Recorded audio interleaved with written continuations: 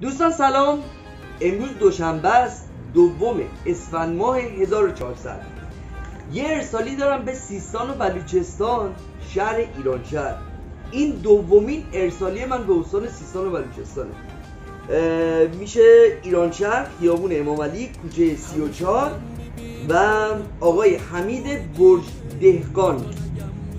یه تراز لیزری قرمز اکتیو بعد همینطور که دارید می‌بینید یه دفترچه راهنما داره داخل کارتون چیزی نیست یا تو بستش یه کیف شکیل داره برزنتیه زمانی که بازش می‌کنید یه پایه نگهدارنده داره. یه پایه که نه یه گیره نگهدارنده داره و تنظیم برای تنظیم کردن همین که پایه چیز رو نگه داره. طرز لیزری رو نگه داره. همین که روی آهن یه چیزی رو بتونن به این حالت گیره بزنن تا بتونه اون تراز تو اون قسمت خودش چفت بشه.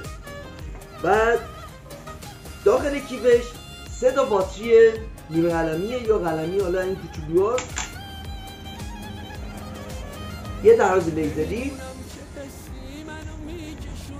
این تراز لیزری سه خط قرمز رنگه و اینکه از سه جهت هم این تراز لیزر داره. من بازش کنم. خب. یه باتری. این دو باتری. و این هم سه باتری. این تراز اول. خب امیدوارم که بتونید ببینید. خب. و اینجا یه دکمه پاور داره می‌زنید تراز دوم.